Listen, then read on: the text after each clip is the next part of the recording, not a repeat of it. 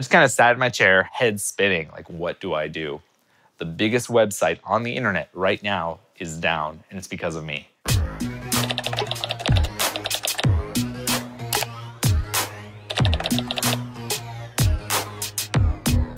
MySpace is the number one site on the internet at this time. This was 2005. It even surpassed Google. So I was about 19 years old. I get onto MySpace and I set up a profile.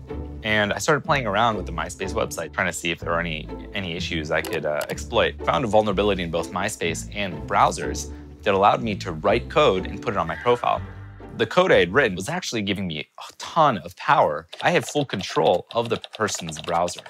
So what would happen is if you visited my profile, you would add me as a friend, but the code would then replicate to your profile. So anyone who visited your profile would also add me as a friend and add the code onto their own profile. So from there, it became a worm or a virus. So I wake up in the morning expecting a couple new friends. I go on myspace.com and I now have like 10,000 new friends. Of course, it was exponential, so the next hour I saw 50,000 people on my profile. Now, deleting my profile doesn't really get rid of the virus or the worm, right? It's kind of like a cold. Like just because you're cured, if you spread it to 100 people, it doesn't matter. They'll still have the cold. So I go into MySpace and I say delete profile. It says, okay, your profile will be deleted in 24 hours. It's just stuck in this frozen state for 24 hours while this worm continues to spread across MySpace.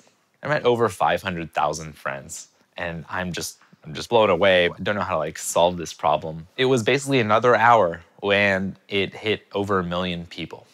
So at this point, it was less than 24 hours since I had launched the original worm on my profile. And now I'm just refreshing and I hit refresh and it says, this profile has been taken down.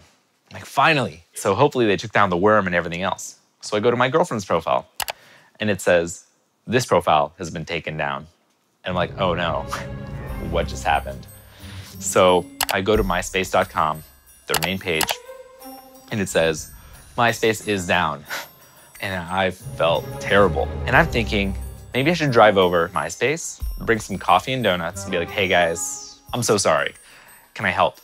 And a few hours later, I check and MySpace is back up.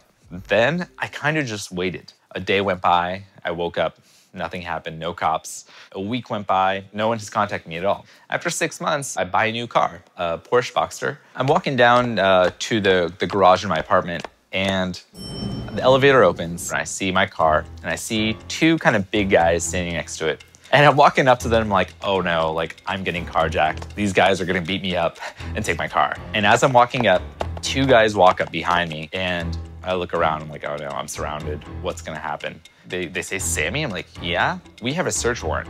And they all show me different badges. And we go up to my apartment, and there are a dozen agents, all with guns, going through everything. And I'm like, whoa. People actually bust down doors with guns when they're after a computer hacker. They go through anything with technology, anything with a chip, anything with data. They take it and then they leave. And I'm like, am I free to go? And they're like, yeah, like, you're not arrested. We just have a search warrant. And I find a, an attorney in LA, and he says the DA wants to put you in prison. I had no idea what was going to happen. After about six months, my attorney came back and he said, All right, here's a plea that we can actually take. Basically, you'll pay some money, maybe like fifteen or twenty thousand dollars, and you'll go to probation for three years, no prison. You can have one computer that's not on the internet. At this point, I really have no options. I say I accept the plea agreement, and that's that.